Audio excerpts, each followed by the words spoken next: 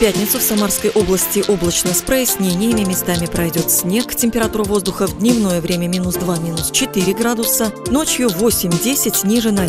Ветер северо-западный, скорость 4-6 метров в секунду. В Сызрани малооблачно, днем минус 2, ночью минус 8, северо-западный ветер, скорость 5 метров в секунду. В Тольятти облачно с прояснениями осадки. В виде небольшого снега днем минус 3, ночью минус 7. Северо-западный ветер 5 метров в секунду. В Самаре малооблачно, возможен небольшой снег. Днем минус 3 градуса, ночью минус 10. Ветер северо-западный 6 метров в секунду. Атмосферное давление 755 миллиметров ртутного столба. Влажность воздуха 56%. Слабая геомагнитная буря.